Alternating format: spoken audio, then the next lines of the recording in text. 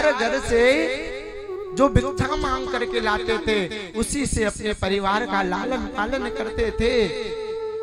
एक दिन रात के ग्यारह बज गई, बच्चे ज़ोर ज़ोर से रोने लगे, माँ, खाना दो ना बड़ी ज़ोर से भूख लगी है। माँ ने कहा, चलो बेटे, अभी कुछ न कुछ देखते हो।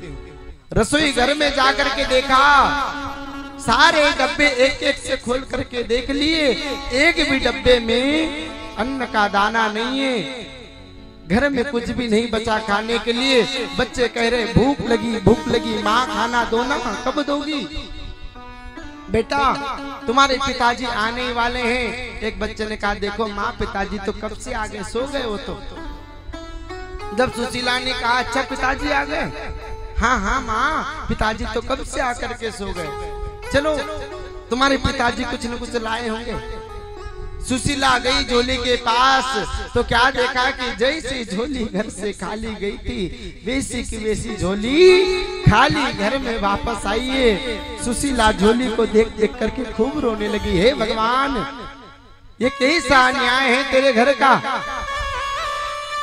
क्योंकि तुम कहते हो कि तुम किसी को भूखे नहीं सुलाते तो आज तो मेरे बच्चे भूखे सो रहे हैं। सुखदेव स्वामी कहते हैं परीक्षित दो दो तीन तीन दिन बीत जाते थे। सुदामा जी के घर चूल्हा नहीं जलता था। दो दो तीन तीन दिन तक। सोचो जरा कि दो तीन दिन की रोटी को एक एक दिन आधी आधी रोटी मिल करके खाते थे। ऐसे सुदामा जी थे, इतनी गरीबी स्थिति। एक दिन तो अति हो गई, चार दिन, पाँच दिन बीत गए। घर में जब चूल्हा नहीं जला तो बच्चे खूब ज़ोर ज़ोर से रोने लगे, माँ खाना दो, माँ, खाना दो। सुशीला ने कहा, रुको, मैं स्वयं जा करके कुछ न कुछ लाती हूँ तुम्हारे लिए।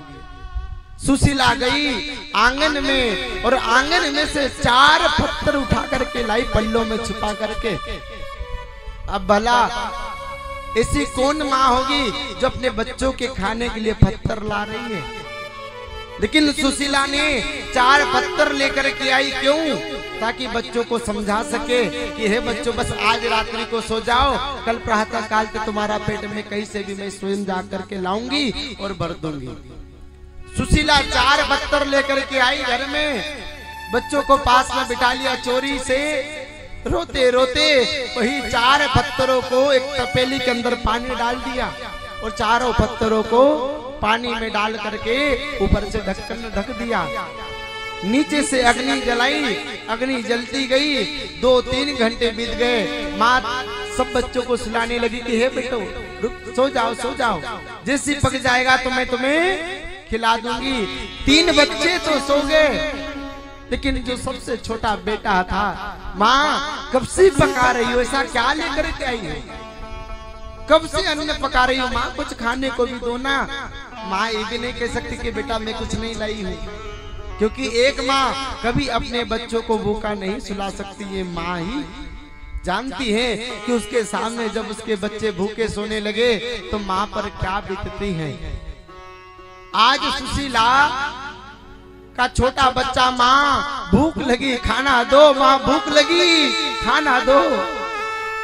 सुशीला ने कहा हे करुणा निधान हे द्वारकाधीश यदि आज यहाँ मेरा बच्चा भूखा सो गया तो मैं तुम्हारी भक्ति करना बंद कर दूँगी। आज के बाद तो तुम्हारे मंदिर नहीं आऊँगी। जब बच्चे ने कहा, माँ, बताओ ना क्या लेकर के आई हो? आज कलीजे को भी पत्थर बना लिया।